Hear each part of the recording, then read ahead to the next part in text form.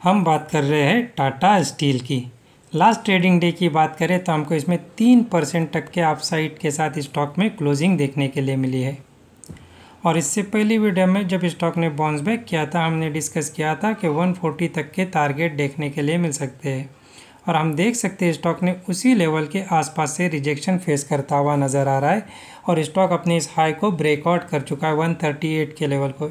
जहाँ से हमने देखा, इससे पहले बड़ी गिरावट 128 के सपोर्ट से स्टॉक ने बाउंस बैक किया है। अगेन गिरावट आई है तो आपने इस लो को ब्रेक डाउन नहीं किया है। फिर अगेन एक जंप आया है।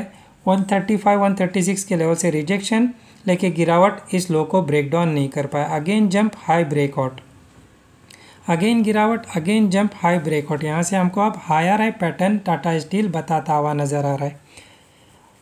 अब सपोर्ट लेवल की बात करें तो स्टॉक ने जिस लेवल को ब्रेकआउट किया है, उसके ऊपर ही क्लोजिंग दिखाई। 138 का लेवल एक इमीडिएट सपोर्ट का काम करेगा। इसको ब्रेक डाउन कर जाता है तो नेक्स्ट सपोर्ट का काम करने वाला है 136 का लेवल और 134 का लेवल एक तगड़ा और इम्पोर्टेंट सपोर्ट का रोल प्ले करने वाला है।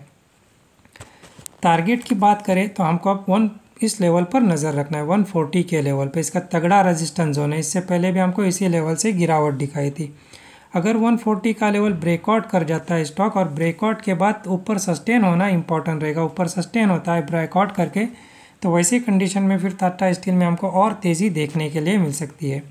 140 के ब्रेकआउट के बाद अगला टारगेट बनेगा 144 उसके ब्रेकआउट के बाद 150 नेक्स्ट टारगेट और इस बाउंस बैक के साथ स्टॉक फिर 150 के लेवल को भी ब्रेकआउट करता हुआ हमको नज़र आ सकता है।